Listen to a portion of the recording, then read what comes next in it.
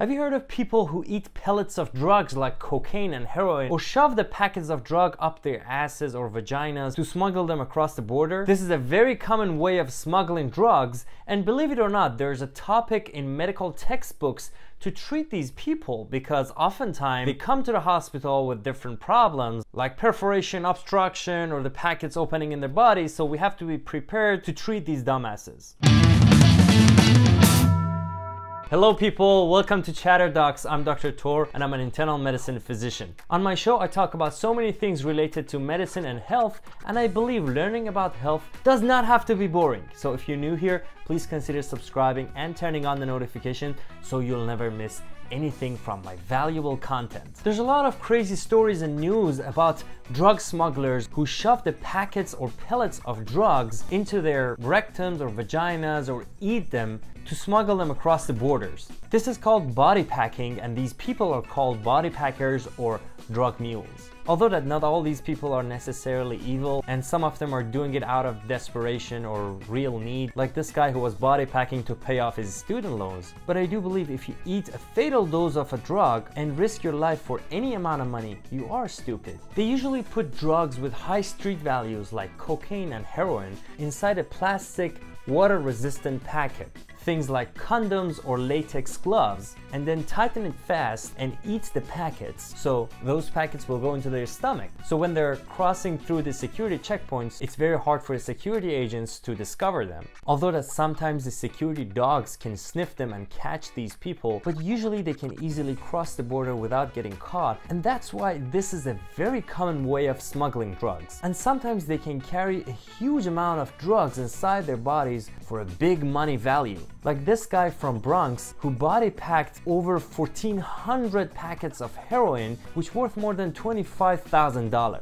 After eating the packets, they usually take drugs to decrease the motility of the GI tract, like the anti-diarrheal medication or the drugs that can cause constipation. Then when they cross the border, they take agents to give them diarrhea and then poop out the packets and give it to their bosses. Seems pretty easy and sweet, huh? But a lot of things can go wrong in between. Most commonly, these packets can get ruptured and perforated inside the stomach. The stomach acid can eat into the plastic and tear them open. Now these packets contain supralethal doses of heroin or cocaine. So what happens next? You guessed it. If a packet of cocaine is opened inside the body packer's body, they will get a huge overdose reaction from cocaine. Cocaine will cause vasoconstriction or narrowing of the vessels inside the stomach. So they will start having stomach pain and contractions and cramps. Then it will absorb into the blood vessels and go around the body. It will go into the brain and will cause altered mental status and confusion,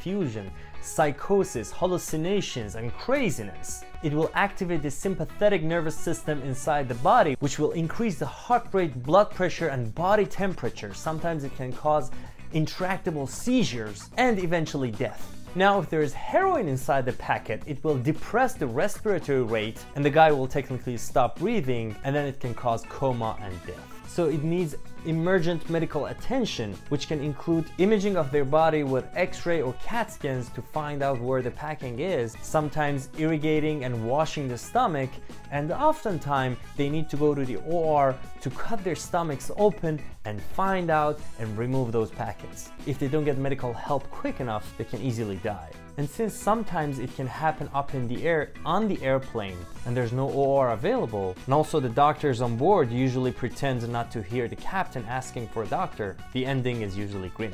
Do you remember the scene from Pulp Fiction where the lady overdosed on heroin? She went into respiratory suppression and coma, and then that guy injected an epinephrine shot right into her heart, and then she woke up and started going crazy. Well, usually it's not that dramatic, but that is very real and can happen. A quick useful point when people have narcotic dependency problems or are on big doses of opioids that are prescribed to them, they should have naloxone handy. Naloxone is a drug that can be inhaled into the nose, and it quickly can reverse the effects of the opioids, most important of which is respiratory suppression, So if someone has overdosed on opioids and they cannot breathe, if you give them that inhaler inside their nose, they can be revived easily and you can save their lives. What are the other problems that can happen to body packers? Since these packets are big enough and are not ingested, hopefully, they can easily obstruct the GI tract. So they can make a blockage inside the bowels, which will also sometimes need surgery. In some cases, it can lead to perforation or tearing up the bowel walls, which again is life-threatening and needs operation. I remember many years ago we had a patient who came to the ER because the packets would not come out after two, three days and he was constipated. So we immediately thought it's a obstruction, so let's get the surgeons on board. We gave him some laxatives first but it didn't help so we got ready to take him to the OR but right when we rolled him to the OR he had a big dump with all the packets and then he was begging and threatening us to give him all the packets because his bosses will kill him. So by medical code, we couldn't turn him in, so we gave him all the poop covered packets and he left happily. There's also another term called body stuffing, which is kind of similar to body packing. These are people who are about to get apprehended by the police and they eat whatever they have or shove it up their asses or vaginas, which is usually a much smaller dose than the body packers, but because it's not usually well secured or wrapped, they have a huge risk of overdose and they have to be seen in the emergency department as well. Thanks for watching this episode. If you also know any crazy stories about body packers or body stuffers, let me know in the comments section below. And if you like this episode, don't forget to smash that like button. And as always, take it easy. We're all gonna die someday.